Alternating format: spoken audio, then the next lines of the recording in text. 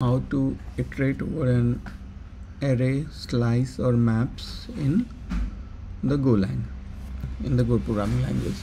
So uh, till now we have not seen how how to define the map but we have seen how to define arrays and slices. So let's let me first uh, define a map for you okay?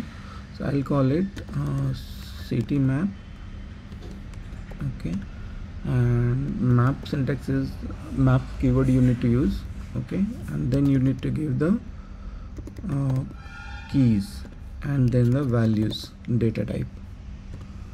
So first of all for India uh, it will be Delhi. So I'm mapping country with the capital then for USA it's uh, New York and for Canada it will be Toronto maybe. So this is how you can define this map okay? Now if you need to iterate uh, over this map you can use uh, range function okay? So for for city map for city range keyword you need to use and I'll use I have given city map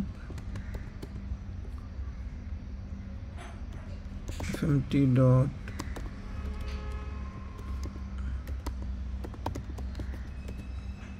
println country.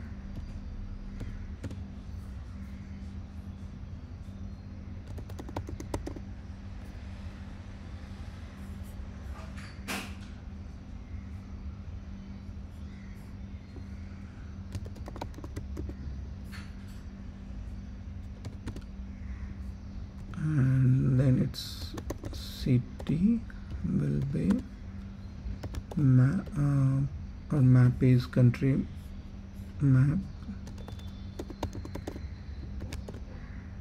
And uh, with the help. So in any map uh, you can get the value of ma map by putting the keys. Using keys you can get the values. Okay? So let's save it and see whether we can get the values or not so you can see that I'm getting the country and city uh, with the help of this. So this is how you can define the map. This is how you can use the range function. Okay? Range function can be used uh, with uh, integers uh, array or string array or slice or map anything. Okay? So here we have earlier defined an array. So let's use range function to iterate over it. Okay? So for that I'll use int maybe I'll use L and range in numbers. Uh, NMBRS numbers. Okay. Uh, in we don't need to use. And then I'll use uh, fmt dot println range number values maybe equal to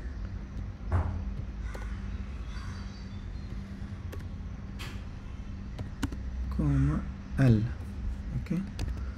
So this is how you can iterate over the array using range okay? So let me print it so that you can we can okay? So you can see that it is able to print. So we have seen how to iterate over a map using range and we have seen how to iterate over an array using range function. Okay similarly we can uh, iterate over slice as well. So thank you so much for watching and uh, this uh, another uh, using key and value both can be uh, given as well. Uh, country comma city this is another way of uh, doing the same what we have done here using so using key you can get the values or using range you can get the key value both. I can give city directly and this will also print the same thing. Here you can see it is printed the same. Okay.